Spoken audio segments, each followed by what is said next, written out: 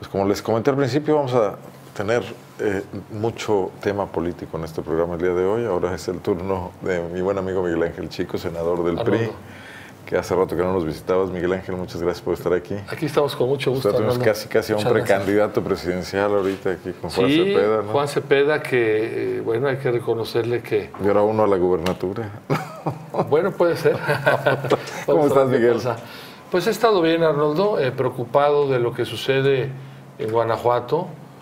La verdad que era inimaginable para muchos hace dos años, tres años, este tema que estamos padeciendo en Guanajuato. Eh, ya no le podemos tapar el sol con un dedo. Es una, es una, diría yo, tragedia en la que estamos viviendo en materia de seguridad y en otros temas sociales, Ana, definitivamente. Bueno, pero hay una ceguera aquí. Eh, sigue el discurso oficial diciendo que no pasa nada, que, las cosas están bajo control, o, con la otra, que la responsabilidad es de los municipios, que la responsabilidad en el robo de combustibles de Pemex, que la responsabilidad es del gobierno federal. La verdad que la política de seguridad de este gobierno no ha tenido éxito, ha fracasado. Yo lo dije hace ocho días en León, el lunes hizo ocho días. El gobernador debe revisar su gabinete de seguridad sin duda. Eh, las acciones del procurador Samarripa del secretario Cabeza de Vaca no han funcionado. La inversión multimillonaria en materia de seguridad tampoco ha aterrizado. Yo no digo que no se hayan hecho esfuerzos y que todo está mal, pero los resultados hablan por sí solos. Esto es de, políticas públicas y la política en materia de seguridad en Guanajuato eh, no está bien, ha habido un fracaso y estamos padeciendo los guanajuatenses eh, pues un, eh, diría yo, descuido de, muchos años, no solo de este gobierno, de otros sexenios que ha habido en el Estado, que si bien le ha servido a Guanajuato la inversión extranjera, que crea empleos, pero que bueno, no están bien eh, remunerados. Independientemente de eso, la gente tiene un empleo, pero descuidaron la, seguridad, descuidaron la prevención y descuidaron eh, la selección, la capacitación y la coordinación de las policías en hacer una policía, como yo le he dicho las veces que me ha hecho favor de invitar a tu programa, eh, de que necesitamos una, una sola policía en el Estado. Hemos perdido aproximadamente siete años en materia de seguridad y ya vemos que hemos sido primer lugar en homicidios en el país, una cifra escalofriante. Vemos pues, lo que veíamos en televisión en estados como Sinaloa, Veracruz, Tamaulipas, ya lo vivimos en Celaya, lo vivimos en León, en otros, no hay municipio que se escape de la inseguridad en, Guanajuato. Hace un rato, bueno, la plática con Juan Cepeda y es inevitable vincular las cosas. Decía, necesitamos un gobierno de salvación nacional en, un momento dado para enfrentar muchos problemas. Las fuerzas políticas necesitamos dialogar. En Guanajuato, pues se ha venido el deterioro que tú dices y yo te pregunto, ¿El gobernador ha convocado alguna vez a los legisladores federales, a ti como senador, a tus compañeros senadores, para establecer un intercambio de ideas? No, en ese sentido, de ninguna manera, no, no, no. Vaya, el gobernador, tengo que decirlo, ha sido atento cuando alguna vez se ha solicitado una audiencia, como cuando eh, celebramos la Confederación Parlamentaria de las Américas en Guanajuato, una ah, un par de, años cortesía, pero alguna plática en materia de seguridad no, no, la, hemos, no la hemos tenido. Y es un, es un asunto que no debemos politizar, un asunto que bueno, pero tú no eres un dirigente partidista, eres un senador de la República, eres un legislador, digo, ahí no se partidizaría. No, y además fui eh, presidente de la Comisión de Seguridad Pública y Comunicaciones y la verdad es que pues, me he metido al tema, ahora el Senado lo hemos discutido, el mando único policíaco quedó en mando mixto policíaco, que esperemos de regreso poder modificar y que sea único mando único policíaco, Arnold. ¿Por qué está detenido el tema de, seguridad en el Senado, la, ley de seguridad? No, el Senado ya lo, lo, sacó adelante, eh, fue a diputados, pero hubo algunos cambios, quedó como mando mixto policiaco. Las autoridades federales, el secretario Osorio Chong y bueno, los inmiscuidos en materia de seguridad, el Gabinete de Seguridad del Gobierno de la República está peleando porque sea mando único policiaco y que a la vez también podamos sacar adelante eh, la ley de seguridad interior, Arnoldo, que regula la intervención Porque de las Fuerzas Armadas. tendremos aquí 3.200 policías militares actuando. Que, que, bien manejado y bien coordinado, pues es, reforzar la seguridad de Guanajuato. Pero eh, la responsabilidad de un gobernador del de Guanajuato, como el de Hidalgo, como el de Baja California Sur, es la responsabilidad eh, en la seguridad es de los gobernadores.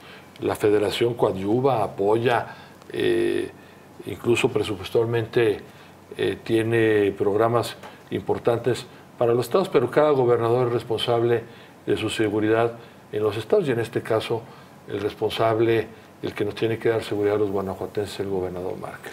Bueno, y después cuando ocurren situaciones como esta, alguien puede pensar, bueno, en las elecciones habrá una sanción al no hacer las cosas o al hacerlas mal. Pero uno voltea a ver en Guanajuato y de repente dice, bueno, pues con los datos electorales que se han visto en los últimos tiempos, el PAN sigue sin tener oposición, siguen teniendo un gran bono. parecería que... Y eso parece ser que, que, les, da confianza para no aplicarse. O, como decía el clásico Romero Hicks, Juan Carlos, la falta de competencia genera incompetencia. Bueno, lo hemos platicado aquí eh, varias veces cómo está el partido en Guanajuato. Ahora la delegada hemos tratado con ella, busca levantar el partido, pero eh, yo eh, no vería como seguro ganador Acción Nacional.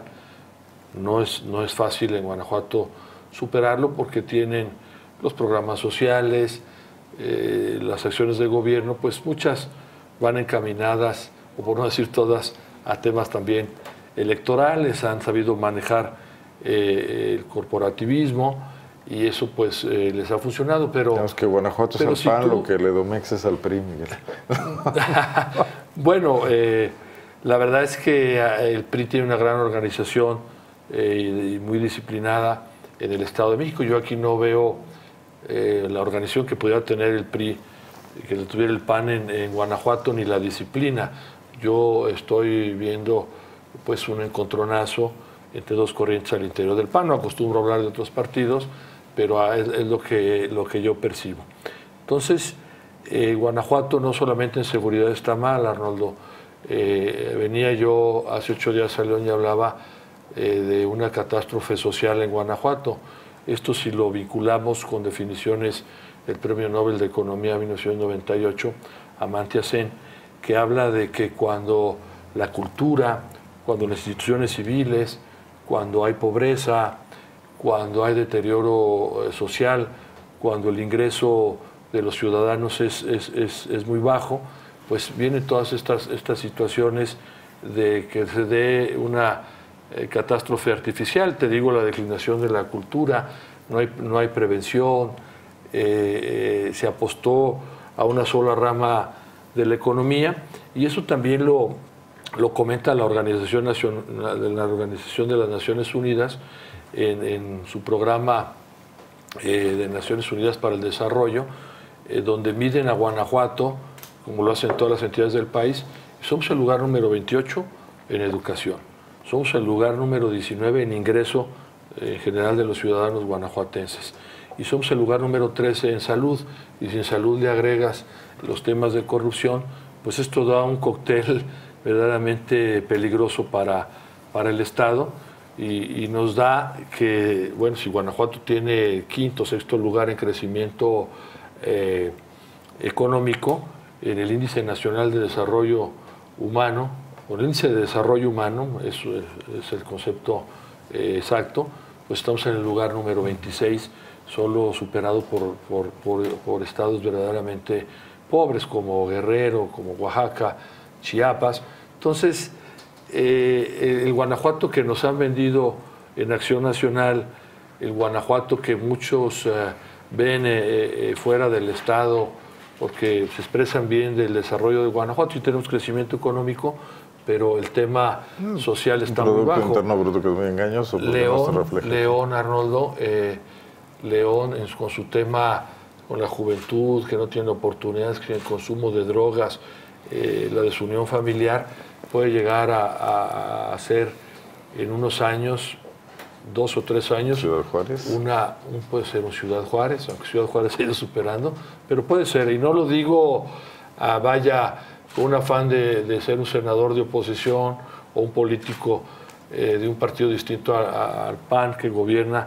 El Estado son cifras, eh, son datos duros, ahí están, y Guanajuato no camina bien, Guanajuato hizo a un lado su seguridad, y en el tema social eh, vemos un programa Impulso, donde yo he dicho que los polígonos, lo que yo he estudiado, están bien ubicados, pero no podemos eh, hacer un lado de que, están, de que está asociado eh, una, a una campaña política que viene en el 18. Y yo no estaría, ah, no veo tan confiado Acción Nacional, si no, no estaría buscando un acercamiento en Guanajuato con el PRD. Eso a ellos les redituaría en el sur, sureste del estado, por la presencia del PRD que gobierna Cámaro, que gobierna Moroleón, entonces ahí... Pero creo que sobre todo lo que está buscando es, eh, para el tema presidencial, creo que Marca está buscando el También, apoyo del PRD. la verdad, eh, lo digo con mucho respeto, hay algunos políticos guanajuatenses que están buscando eh, el tema presidencial, vaya, respetando su sentido, su estrategia, van llegando tarde a esa contienda. Ya va avanzada la contienda. Bueno, lo, sé, lo supongo, pero eso no quita que no muevan los pies. Pero, pero, pero te interrumpo y, disculpa, pero sí, sí, sí es la estrategia presidencial, pero también eh, saben que sus números no están bien, que la gente no está contenta. El gobernador tiene buena imagen, pero gente a la hora de, de meter la mano a los bolsillos, de ver los servicios de salud, de ver que miles de guanajuatenses que estuvieron eh, de, la preparatoria y que buscaron acceder a una educación superior y no lo pudieron lograr. O los guanajuatenses que se van a los Estados Unidos. ¿Y, qué pasa con el premio? Ya mencionaste el tema, pero vemos surgir nuevos actores, ¿no? Vemos surgir actores como, por ejemplo, José Luis Romero Hicks. Me lo recuerdas porque ahora está citando muchas estadísticas. José Luis, sí. José Luis luego abusa de las no, yo tengo, tengo un gran respeto por José Gerardo Luis. Sánchez, que, que este, pues, manda señales de que también quiere una alianza con el PRD y hasta con Morena se ha hablado. Si no es candidato del PRI, puede ir por allá. Tú que no quites el dedo del renglón. Hoy negó Morena esa posibilidad. Sí, y a mí también aquí me lo, me lo negaron. Aquí, ¿verdad? Sí. Eh, pero bueno, eh, se nota que también hay un choque de trenes, como el que ves en el PAN en el PRI. También, sí. Bueno, el PRI está viviendo un momento crucial. Que incluso la delegada llegó y de inmediato se encontró con eso, ¿no? Yo, yo eh, he dicho de la delegada que es una mujer eh, con estatura política. Lo digo cada que puedo que es una mujer justa, la conozco en el Senado de la República. Eh, los dos senadores de Guanajuato, el PRI tiene buena relación, así lo hemos platicado. Eh, ahora estamos viviendo la posible construcción de una planilla de unidad. Hemos visto eh, algunas filtraciones en los medios que no ayudan a sacar este ejercicio de una manera eh, que beneficie al partido. Yo confío en que, ese compromiso, en, esa ah, cohesión que se está buscando en el PRI de Guanajuato, podamos lograrlo. Vamos a ver. Eh, Muchos años de discordia y de desunión. Sí, y hablan de que sea una elección a las bases, una elección donde elija la militancia. Sí, pero también la militancia se ha pronunciado y en las mesas temáticas en las 32 entidades federativas que debemos cerrarle el paso a cualquier candidato que pueda estar manchado de corrupción. Que se forme un consejo eh, de rendición de cuentas en el partido y de ética, porque el PRI los últimos años hemos, estado muy golpeados con el tema de corrupción y Guanajuato no es la excepción. Independientemente de quién pueda ser el candidato, tiene que ser una gente que esté limpia en su carrera que política. bien. ¿Tú cómo piensas enfrentar eso? ¿Qué vas a hacer? Yo, eh, bueno, yo estoy haciendo mi trabajo. Eh, ahora eh, tuve la oportunidad de estar aquí en talleres familiares. ¿Tienes algún método especial? ¿Vas a pedir a la delegada que sea algún tipo de elección? Pues eh, tú sabes que, y no es ningún temor o miedo a hablar las cosas como son, pero la ley electoral nos tiene cierta, ciertas este, temas de los que no podemos eh, comentar abiertamente. pero eso no, ¿Cómo te gustaría que el PRI eligiera su candidato en Guanajuato? El PRI tiene no, no puede ir a una elección eh, donde no tengamos la garantía de que no habrá eh, piso parejo para, para, los contendientes, de que se pueda en los órganos del partido eh, manejar los temas no, no neutralmente y que, y que pueda salir una candidatura donde, donde se tenga el control del partido y que los que no tenemos vaya mucha injerencia en los órganos del gobierno del partido, pues podemos ser ser desplazados. Yo no tengo miedo a una elección interna. Fui presidente del comité municipal en Celaya, una elección interna, la oficina del comité estatal, pero eh, la verdad eh, el partido, con todo el entorno nacional que estamos viviendo, con el tema local, hay que buscar quién esté bien posicionado, quién, quién eh, sea conocido y que tenga los menos negativos posibles para, para enfrentar la elección, ir en la... Hacer una encuesta, ¿no? no diría yo exactamente una encuesta, pero eso es una herramienta que debe de, de utilizarse y todo esto que yo te digo, eh, el, PRI está viviendo una verdadera revolución con, con, lo que ha sucedido los gobernadores, eh, que bueno, es histórico lo que está pasando. y, el, discurso, el discurso de, del doctor Ochoa, de Enrique Ochoa, es eh, limpiar el partido y que sean candidaturas lo más limpia posible que puedan enfrentar a, Acción Nacional en el caso de Guanajuato y no a mitad eh, de la campaña que nos presente un expediente grueso que perjudique al partido. La mitad mujeres en las alcaldías, en las diputaciones. Es otro, van a es otro tema. Bueno, yo primero me regreso un poquito a las alianzas, si me permites. No soy el dirigente del partido, pero soy un militante He tenido como, como político acercamientos con El Verde, con, con Betty Manrique también con, con Luis Manuel Hernández de Nueva Alianza. Creo que por ahí el partido ojalá piense como una buena opción ir, ir en alianza. El PRD, a mí me tocó como presidente del Comité Estatal construir alianzas con, con el PRD en cinco municipios, con Alonso Raya y el Gallo Barbosa, pero ahora veo que ese frente eh, opositor, amplio opositor, pues eh, veo que está aterrizando en Guanajuato con entre el PAN y el PRD. Probablemente ahora el gallo Barbosa tenga que estar platicando con el gallo Barba y se van a entender muy bien. Yo creo que sí. en la alianza PAN-PRD. Así es. Miguel, eh, te quiero preguntar de otro tema porque me parece interesante tu punto de vista desde el Senado de la República. Vimos aquí en León una polémica recientemente rara porque en el ámbito cultural luego no suele ocurrir esto, hasta manifestaciones, hasta nuestro amigo Amador Rodríguez se fue a manifestar ahí a las puertas. Digo que hay una declinación cultural también. ¿eh? Porque aquí se cesó con muy malos modos a un eh, magnífico promotor cultural que había hecho una muy buena labor, que es Alonso Escalante, colocó el Teatro Bicentenario en una posición de privilegio en México. Produjo, La verdad que sí. Produjo una docena de óperas a lo largo de estos años. Muy bien. Este, y de repente vemos como con una mano y un manotazo un Consejo Ciudadano formado por prominentes empresarios de León, designados por Juan Manuel Oliva, hay que decir que sobreviven desde aquella época, pues hace lo que quiere sin rendir muchas cuentas. Y es un modelo que Acción Nacional explotó mucho como una forma de cercanía con la sociedad, estos consejos ciudadanos, pero parece que ya, ya, ya, declinó esta. Por eso te decía que, que la organización social, las instituciones civiles no están bien en Guanajuato.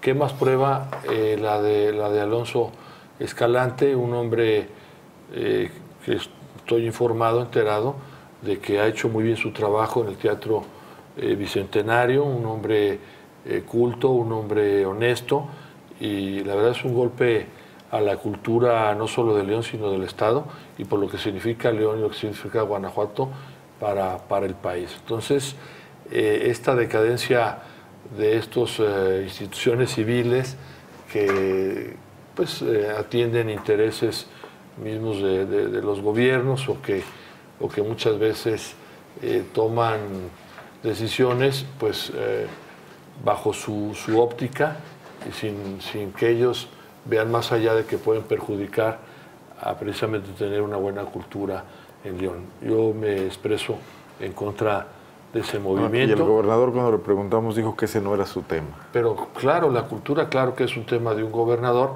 pero además no, no, no se debe, este, esta Consejo Ciudadano también debe atender a los recursos federales que, que llegan al Teatro Bicentenario. Entonces, ahí hay temas que hay que revisar, Arnoldo. Muy bien, en la, en la entidad cuna del, del Festival Cervantino pasan estas cosas. Miguel, bueno, pues no sé si te hagas algún otro tema. Te, quiero preguntar rápidamente el sistema anticorrupción, el fiscal anticorrupción. Una, una falla del Congreso de la Unión. Como, como senador asumo mi responsabilidad. Eh, eh, más que el Congreso de la Unión, la, la negociación está en el Senado.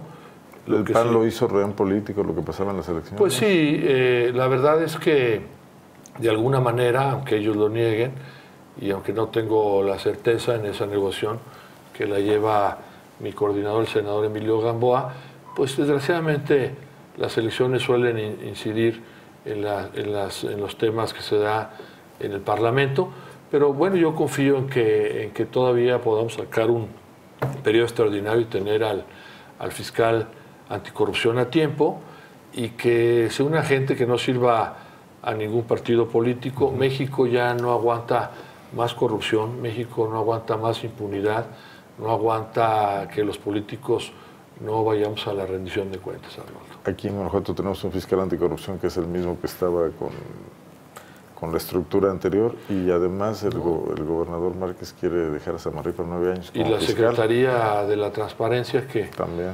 que bueno, no vemos que, que fue un golpe mediático de nuevo y no una secretaría que esté operando asertivamente en contra de la opacidad que se sigue dando en Guanajuato. Muchos temas para la oposición. Muchos temas para la oposición. La verdad es que yo quise venir hace ocho días a León en este receso a dar mis puntos de vista, mis análisis y, eh, considero que, que, si bien eh, la ciudadanía todavía no ve una opción en el PRI por lo que estamos viviendo, por los, los temas, pues en un futuro puede ir cambiando paulatinamente la percepción. Yo te agradezco mucho. El agradecido soy yo. la posibilidad de platicar. mucho gusto. no, te, tardes tanto. No, Arnoldo, aquí estaremos. Vamos a hacer una pausa, todavía eh, tenemos en el programa temas, en un segundo regreso.